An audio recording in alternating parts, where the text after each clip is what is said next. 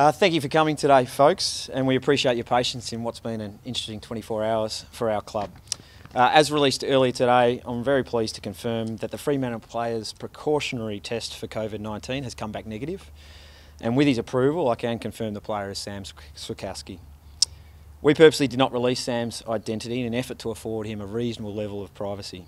We feel strongly that Sam is absolutely entitled to that, and with this in mind, request that his and his family's privacy be, be requested ongoing, be respected ongoing. The club made this decision yesterday to take a conservative approach with Sam and have him tested after he presented with flu-like symptoms and had been in contact with a friend who had visited China. We felt this was an important action to take to ensure that the safety of everyone involved with our football club, players, staff and the broader community. Happy to take any questions. How's Sam feeling? I imagine very Sam's relieved and feeling quite well in himself. Um, it, in reality, it's been proven to be a, a, cold and, and something that isn't overly dramatic, and he's keen to get back to training as soon as he possibly can. So when will that be? Uh, it could be as early as tomorrow. Having just spoken to him, he's in good spirits, and as I said, just recovering from what is a mild cold.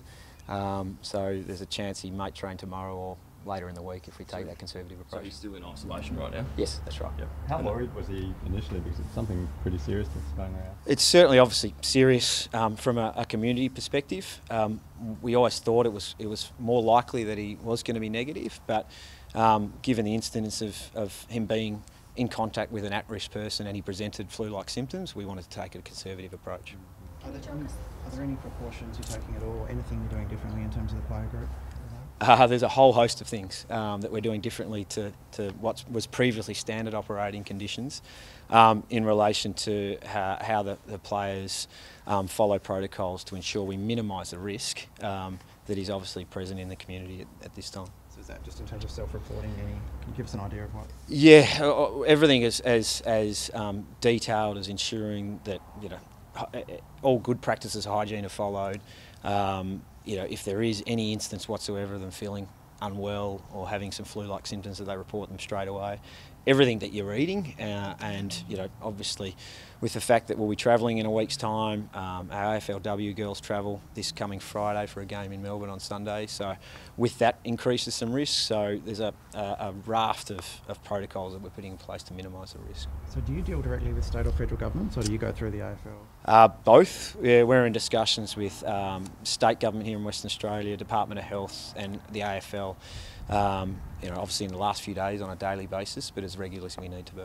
What's your understanding of the risk of Optus Stadium maybe being shut to crowds?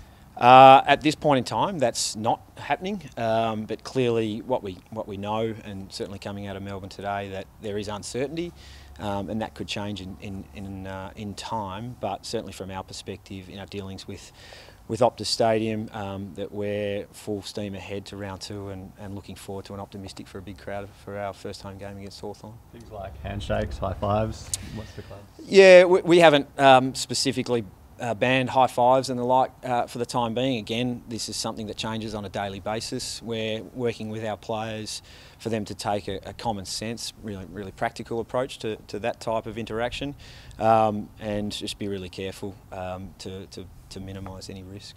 Is there any potential uh, financial risk for the club with uh, potentially no, uh, no crowds for some of the early games? It's too early to tell. Clearly, if, if that um, scenario eventuates, then there is a likely impact on the organisation. We'd be working really closely with the AFL to ascertain how we'd handle that.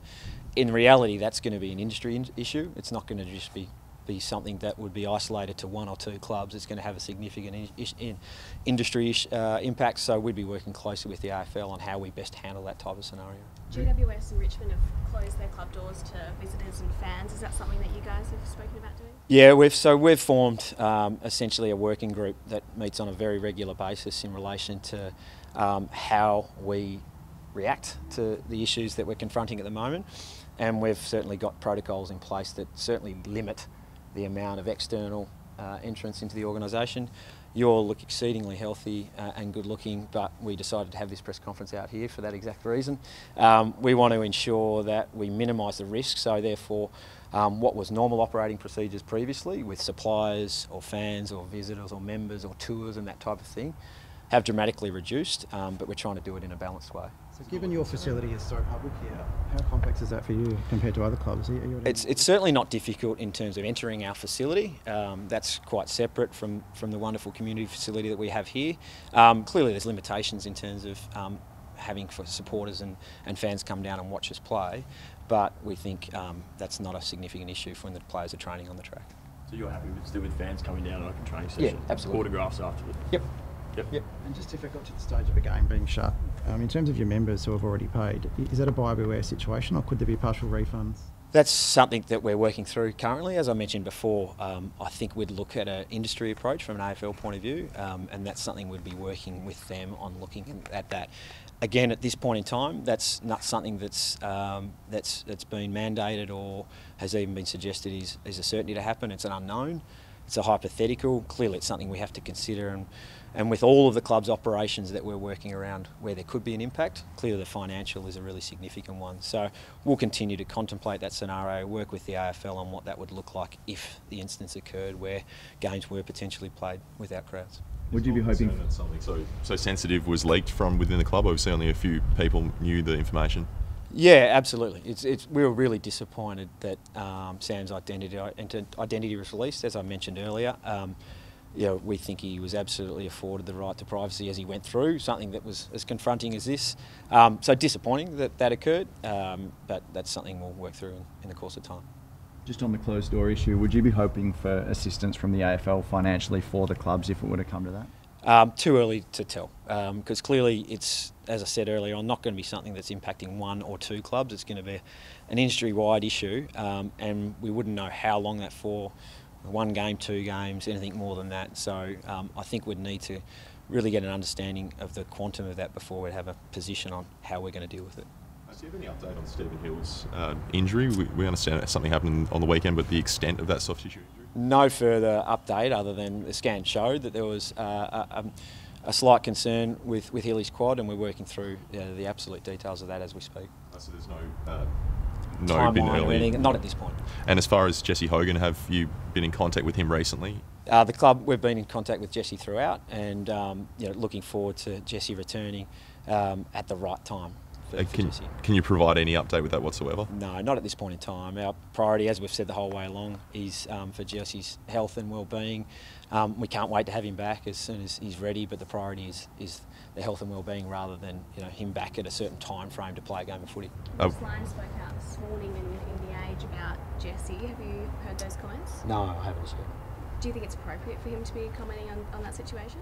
Uh, Ross obviously was here for a significant par- par- uh, period of time. Was here when Jesse was recruited, so he's in the media now, and don't begrudge him that at all. But it's not a concern for us. He's come out and said it was not his decision to hire Jesse. It was basically pushed it onto other people of the club. Do you agree with that? I wasn't here at the time, so hard for me to comment from that perspective. Um, and yeah, it's not something we spend a lot of time thinking about. Um, how, how's Hayden Young tracking? Uh, Hayden's going really well. Yeah, so he's progressing like any young player coming into an AFL environment for the first time. Um, sometimes there's there's some physical challenges, um, but he's coping really well. Uh, incredibly impressive young man. Think he's going to be a, a great player for us over a significant period. And um, yeah, we're playing the long game with Hayden, but expect him to be playing. Um, if it's not a practice match this week, it'll be certainly in the next couple of weeks. How are you feeling about the start of the season in general with such a long injury list? Um, I'm feeling really positive given the fact that um, between our men's and women's team we're undefeated. So it's hard to be too disappointed on that fact. I don't think you know we can ask from a from a member or fan or club perspective that we can ask for too much more than that. But um, uh, notwithstanding the fact that we've got a, a, an injury list that's a bit longer than we'd like, um, seeing the style of footy that's being played, seeing the young players that are coming in, playing roles and doing their bit. I think Fyfey um, talked about it a bit this morning and the fact that we want to build an environment where players can come in, play a role, be incredibly enthusiastic and desperate, and, and do what we need them to do. And I think we've seen that in evidence. So, um, if that's something that we can maintain and continue through the early parts and latter parts of the season, whilst we get the likes of of a Mundy and a, a Pearce and a Wilson back, then um, I think we'll be really well placed. And have you made a final call on Blake Acres whether he needs surgery? Uh, no, not as yet. No, not.